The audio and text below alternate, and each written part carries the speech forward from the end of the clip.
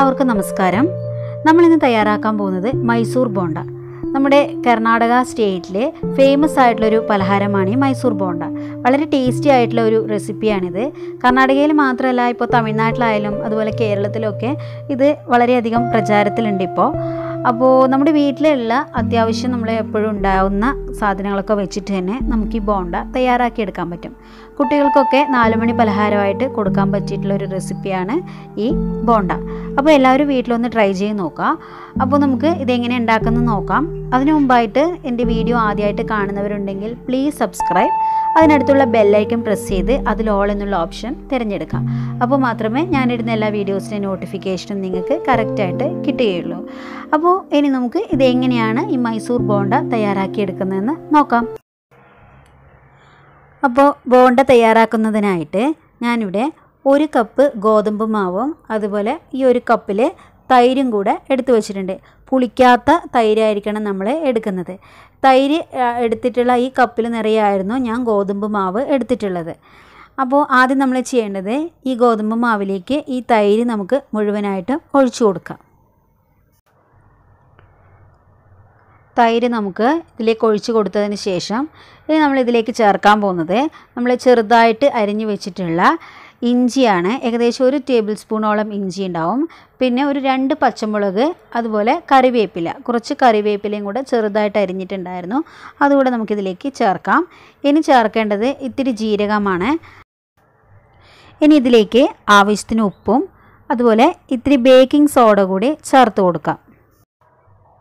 ഇനി നമുക്കിതൊന്ന് കുഴച്ചെടുക്കണം. അപ്പോൾ കുഴച്ചെടുക്കുമ്പോൾ നമുക്കിതിലേക്ക് ഇനി കുറച്ച് മാത്രമേ വെള്ളം ചേർക്കേണ്ടതുള്ളൂ. അപ്പോൾ നമ്മൾ നോക്കിയിട്ട് കുറച്ച് മാത്രം കുറച്ച് കുറച്ചായിട്ട് വെള്ളം ചേർത്തിട്ട് ഇതൊന്ന് കുഴച്ചെടുക്കാം.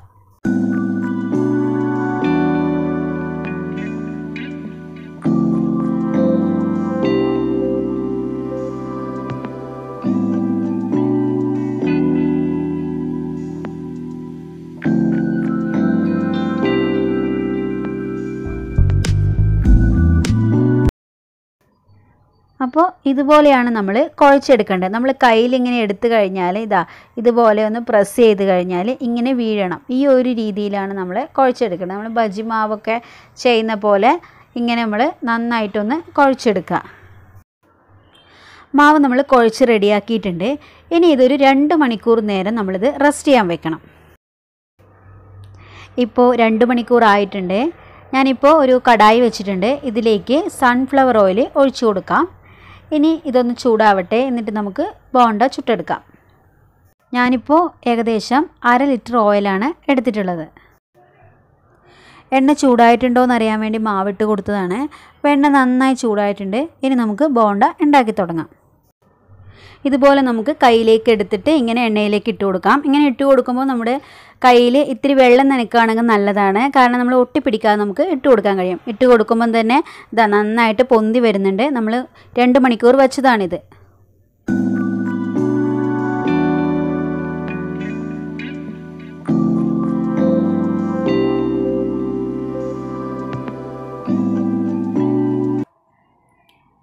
ഈ ബോണ്ട ആയതിനു ശേഷം നമുക്ക് കോരിയെടുത്ത് ഇടാനായിട്ട് ഒരു പാത്രത്തിൽ ഞാനിപ്പോൾ ടിഷ്യൂ പേപ്പർ എടുത്ത് വെച്ചിട്ടുണ്ട്.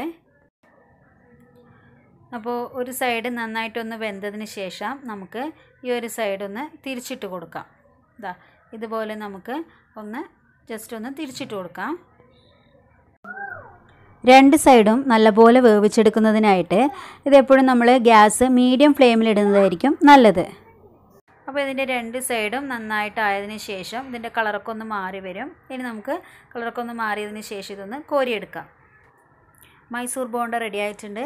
ദാ ഈ ഒരു കളറിലേക്ക് വരണം. അപ്പോൾ മാത്രമേ നമ്മളിത് കോരിയെടുക്കാൻ പാടുള്ളൂ. ഇനി നമുക്ക് അടുത്ത സെറ്റ് ഉണ്ടാക്കാം.